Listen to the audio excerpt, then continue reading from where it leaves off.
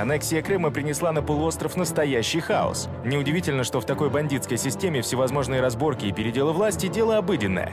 Чего только стоят постоянные смены так называемых глав крымских городов. Очевидно, что это результат того, что в России слишком много едоков во власти, то есть э, различных органов, и фактически крыш, которые конкурируют за распределение скудных крымских ресурсов или федеральной помощи. Это ворота Крыма, город Симферополь. 14 ноября 2018 года у города появился новый мэр. Кресло главы оккупированной городской администрации заняла Наталья Маленко, так называемый первый вице-спикер парламента и давняя партийная соратница известного предателя Украины Владимира Константинова. Есть предложения, э, от которых невозможно отказаться. Мы приняли очень важное э, с вами политическое решение. Можно сказать, пожертвовали первым заместителем Государственного совета для того, чтобы укрепить местное самоуправление. А ведь не так давно пост мэра Симферополя благодарно принимал Игорь Лукашов, человек, которого на место главы города лично продвигал Гоблин Аксенов. Кандидатуру Игоря Лукашова поддержали 29 народных избранников. Сейчас я отправлюсь на встречу с главой республики Аксеном Валерьевичем э, для сверки часов, определения задач. Тогда в социальных сетях многие критиковали это назначение. Лукашову неоднократно вспоминали его криминальное прошлое. Оказалось, что он вместе с Аксеновым в свое время был участником преступной группировки «Сейлем». То, что опирается на криминальные кадры Сергей Аксенов, неудивительно. Он окружил себя с первых дней во власти людьми из криминального бизнеса. Это выгодно в то же самое Кремлю, потому что все они находятся на крючке, их очень легко дергать. Но как так получилось, что буквально через год в ноябре Лукашов подает в отставку? И что интересно, делает это по требованию самого Аксенова. Сергей Аксенов уволил главу администрации Симферополя Игоря Лукашова и всех его заместителей. Я предложил Игорю Михайловичу Лукашову написать заявление об увольнении. За пару недель до этого Аксенов вовсю принялся жестоко критиковать работу симферопольского мэра. За транспортный коллапс и проблемы с вывозом мусора. Гоблин и вовсе пообещал администрации Лукашова устроить настоящий административный террор. Желание приложить силы у Игоря Михайловича было, но отсутствие опыта не дало возможности показать результативную работу. Но позвольте, Сергей Валерьевич, ведь вы сами год назад выдвинули Лукашова на должность мэра. А значит, ответственность за его проваленную работу лежит и на ваших плечах. То, грубо говоря, человек использовал свой ресурс, то есть ему сказали, вот на кормление мы тебе даем город, при условии, что ты отписываешь нам какую-то долю. Но при этом, то есть ты набрал определенную порцию негатива, э, Аксена уже не хочет брать его на себя. Кто виноват? Виноват а господин э, мэр э, города, которого мы поставили. Все, поставим другого. Он наворуется, наберет негатив, мы уберем. То есть это такая абсолютно циничный конверт. Впрочем, еще до Лукашова был так называемый первый российский мэр Симферополя Геннадий Бахарев. Его тоже называют креатурой Гоблина. Напомним, пост псевдоглавы администрации столицы Крыма он занял еще в 2014 году. Мы должны изменить традицию, когда к органам власти относятся не как к союзникам, а как к какому-то придатку, который просто, да, должен быть, но которому не доверяют, который не любят, который не ценят и за который не готовы бороться. Но чудо, конечно же, не произошло. За три года к главе подконтрольной Кремлю Симферопольской администрации среди горожан накопилось множество претензий. Бездельник и тунеядец. Вы посмотрите, какая грязь кругом. Да если бы не волонтеры, я не знаю, что тут было бы. Ну, не справляется, наверное. Практически, по-моему, он завалил все дело. И это точно. В августе 17-го Бахарев подал в отставку. По официальной версии заявление об увольнении он написал в связи с состоянием здоровья. Состояние моего здоровья не позволяет занимать пост главы администрации в дальнейшем. А уже почти через год стало известно, что на так называемого первого российского мэра Симферополя завели уголовное дело. Экс-чиновника обвинили в злоупотреблении должностными полномочиями при распоряжении муниципальным имуществом, а точнее земельным участком. Но это временно, могу всех, конечно, успокоить. Сейчас суд избрал обвиняемому меру пресечения в виде подписки о невыезде. Но в куларах городской администрации Симферополя говорят, что Бахарев просто заключил сделку со следствием и пока отделался штрафом. Как-то сложно все с градоначальниками и в оккупированной Керчи. Мне в этом вопросе бояться нечего. Мэром стратегического города Олег Асачий был 16 лет и в 14-м с радостью встречал на полуострове так называемых «зеленых человечков». Вы голосовали за Россию? Конечно. Но уже через год после аннексии Асачева сместили с должности. Против него стали публично выступать местные пророссийские политики. И в итоге мэра-коллаборанта обвинили в превышении должностных полномочий и арестовали. Чиновники должны понимать, что если они за что-то брали у людей деньги, то есть в данном случае ну, мошенническим способом ответственность в этой части должна быть. Учитывая то, что Асадчему грозило до 7 лет лишения свободы, он еще неплохо отделался. Домашним арестом и штрафом в 150 тысяч рублей. Летом я езжу на рыбалку, У меня есть огородик небольшой. После Осадчева в ноябре 14-го пост незаконного главы администрации Керчи принял Сергей Писарев и якобы сразу же приступил к активной деятельности на благо кирчан.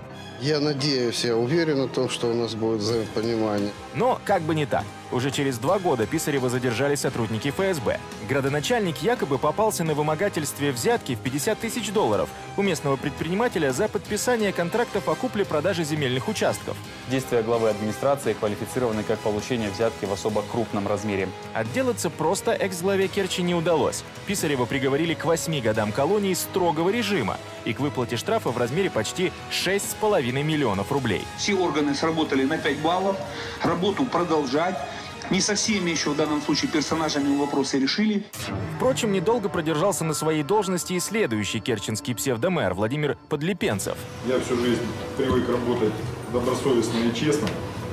И чтобы мне не было потом стыдно смотреть в глаза э, керчанам, Наверное, не выдержав сложных реалий работы под контролем пророссийских бандитов, Подлипенцев уже через полгода сам решил уйти в отставку, якобы по состоянию здоровья. Это очень тяжелая, можно сказать, каторжная работа, потому что нет ни выходных, практически нет свободного времени. А Гоблин Аксенов тем временем поспешил представить кирчанам нового главу, на минуточку уже четвертого, за время оккупации Крыма России. Сергей Вадимович Бородин, да, вот он рядом есть, и, на мой взгляд, уже человек системный. Проблемы со здоровьем помешали бывшему главе администрации э, решить все вопросы, которые были поставлены, все задачи. Еще не прошло пяти лет после аннексии Крыма, а в Феодосии тоже уже четыре раза менялось так называемое руководство администрации города. Сначала это был Дмитрий Щепетков. В 14-м он тоже с легкостью предал Украину и перешел на сторону врага. А уже в 18-м 30 марта узнал, что отправляется в тюрьму на 8 лет. Оказалось, что предателей нигде не любят, даже в России. 8 лет лишения свободы, штраф в размере 42 миллионов рублей и лишение права занимать определенные должности сроком на 3 года. Экс-глава администрации Феодосии Дмитрий Щепетков признан виновным в покушении на получение взятки в особо крупном размере и превышении должностных полномочий. Далее кресло главы Феодосии занял Станислав Крысин. Буквально через год Аксенов потребовал отставки его и председателя горсовета Светланы Гивчук, которую считают ставленницей того же Константинова. Когда Сергей Валерьевич э, видит э, со стороны, что идет что-то там не так, он имеет право на эти решения. В октябре 17-го мэром Феодосии стал Сергей Фомич. И, казалось бы, на этом можно было остановиться. Но нет, совсем недавно, в январе этого года, Аксенов отправил в отставку и этого недоградоначальника. Главы администрации и муниципального образования уволены. Отсутствие эффективности, результативности, и я говорю, как основной критерий, это отсутствие обратной связи с населением. То есть нет плотных контактов, то есть как бы не знают и не живут проблемами, которые волнуют людей. В курортной Ялте за время оккупации трижды сменилась так называемая власть. Сейчас пост мэра занимает Алексей Челпанов, до этого Елена Сотникова, экс-советник крымского спикера Константинова, с которым Аксенов не первый раз соревнуется в перестановке кадров на полуострове. Это как жаба и гадюка, грубо говоря. Да, они находятся в состоянии тихой перманентной войны. Они знают грехи друг друга прекрасно, имеют, собирают друг на друга компромат, и этим друг друга держат в узде. Это люди, которые друг друга ненавидят, но избавиться они друг от друга не могут. А еще ранее, с 2014 года, городом управлял Андрей Ростенко, человек из окружения Аксенова. В прессе не раз всплывала информация о том, что их связывает криминальное прошлое. Вот такой жизнью живем. Через три года Ростенко по поручению Аксенова ушел с поста мэра Ялты и стал официальным советником Гоблина. Но ненадолго. В мае 18-го сотрудники Следственного комитета РФ задержали Ростенко в Москве. Басманный суд Москвы арестовал бывшего мэра Ялты Андрея Ростенко по подозрению в превышении должностных полномочий. Судя по материалам уголовного дела, речь идет о передаче в муниципальную собственность земельного участка в 26 соток. Так называемому бывшему мэру Ялты выдвинули подозрение в том, что он незаконно перевел в собственность города земельный участок под санаторием «Алупка». И Ростенко отправили в СИЗО на два месяца. Басманный суд Москвы избрал бывшему главе администрации Ялты Андрею Ростенко меру пресечения в виде заключения под стражу. Под стражу Ростенко взяли в зале суда. До 21 июля бывший градоначальник будет находиться в одном из СИЗО Москвы. Тут-то компаньон Ростенко по бандитским делам Аксенов уж очень возмутился. Так называемый глава Крыма сразу встал на защиту товарища, резко раскритиковал действия Следственного комитета РФ и вообще назвал это чьим-то заказом. Ну, я честно такого беспредела не видел никогда. Считаю дело это политически мотивированным, заангажированным. Через два месяца пребывания в СИЗО Ростенко таки вышел на свободу под подписку о невыезде. Но в СМИ очень быстро предположили, что арест Ростенко – это звоночек для Аксенова. Настоящее доказательство того, что кресло под так называемым крымским главой пошатнулось. После ареста бывшего мэра Ялты, близкого к Аксенову, на полуострове заговорили о скорой возможной отставке главы российского региона, который, впрочем, во всем мире, кроме России, считается аннексированным. У ФСБ, у Следственного комитета вот такие уже папки по его коррупции, по его преступлениям. Они же герои, они привели Крым в родную гавань. Как же ты этого героя, это же целый памятник, как ты его посадишь. Но чем дальше отходит в прошлое 2014 год, вся память стирается, стирается. Понятно, что судьба Аксенова, Константинова незавидная, как любых предателей. И что получается в итоге? Симферополь за пять лет российской оккупации поменялось три мэра. Ялта – результат аналогичный. Керчи должность городоначальника новые люди принимали четыре раза. Та же ситуация и в оккупированной Феодосии. На шестерых крымских псевдомеров завели уголовные дела. Двоих приговорили к немалым срокам заключения. Эти ставленники меняются просто с э, чрезвычайной скоростью. Э, При Украине так не было. Сейчас имеет значение только то, к какой башне Кремля тот или иной чиновник ближе и куда он заносит деньги. Вывод один. После прихода русского мира Крымский полуостров стремительно движется в обратном направлении, во времена бандитских разборок и лихих 90-х. Страшно даже представить, какое будущее с такой политикой Кремля и такими руководителями ждет простых жителей Крыма. Их эту шоблу всю разогнать надо вместе с, с Аксеновым. Только вот языком и больше ничего.